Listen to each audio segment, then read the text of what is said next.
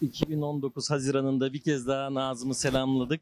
O selamın belki senin için özel bir anlamı da vardı. Bir de Nazım Hikmet ödülünü aldın. Nasıl bütün bunlar burada olmak, Nazım'ın mezarı başında bir de Nazım'ın adını taşıyan bir ödül almak nasıl bir duygu? Şimdi sevgili Hakan hayatımın en mutlu günlerinden birisini yaşıyorum. Öncelikle e, Nazım Usta'nın 56. ölüm yıl dönümünde burada bulunmak ve 500'e yakın ödüllerimin olmasına rağmen Nazım Hikmet dostluk ödülünü almak bir defa benim için onurların en büyüğü. İki onuru birden yaşıyorum. Hem Nazım'ın yanında olmak hem Nazım'ın dostluk ödülünü almak bir sanatçı için e, çok büyük bir onur.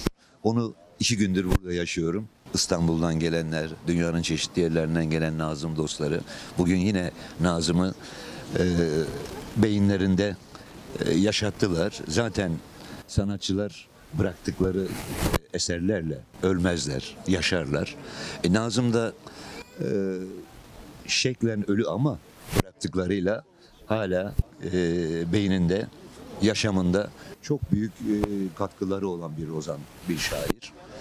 Mesela son dönemlerde dünyanın her yerinde e, çıkar için yapılan savaşlar, katledilen insanlar, buna rağmen güzel günler göreceğiz. Çocuklar şiirindeki o anlam bugünün dünyasını bence çok iyi ifade ediyor.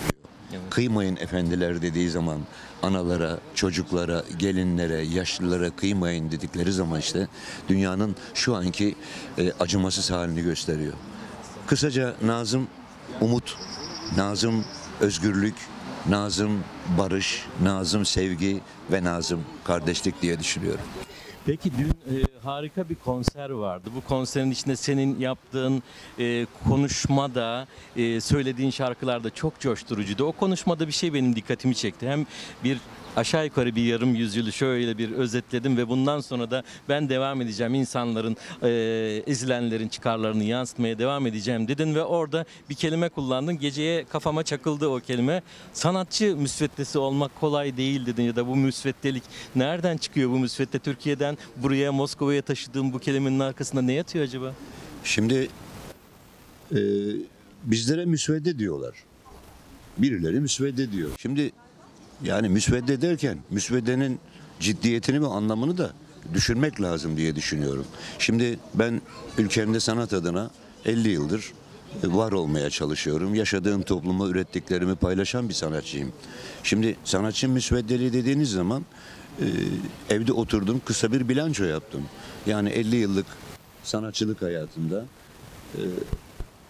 8-10 tane başbakan, 10-12 tane cumhurbaşkanı, sayısız bakanlar, milletvekilleri bu Geldi süreçten geçti, değil mi? gelmiş geçmiş. Ama sanatçı müsveddesi dediğiniz insanlar bugün hala ülkesinde insanlara sanatını icra eden, dimdik, eğilmeyen, doğruların peşinde koşan insanlar.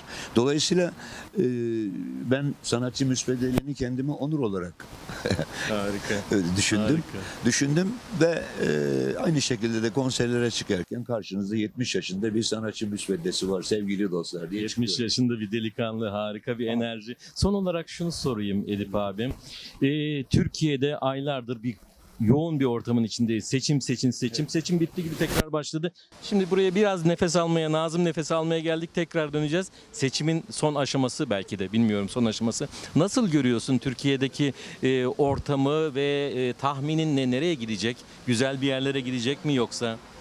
Şimdi e, son seçimler zaten e, Türkiye'nin daha güzel yerlere geleceğinin e, işaretini verdi yerel yönetimlerde.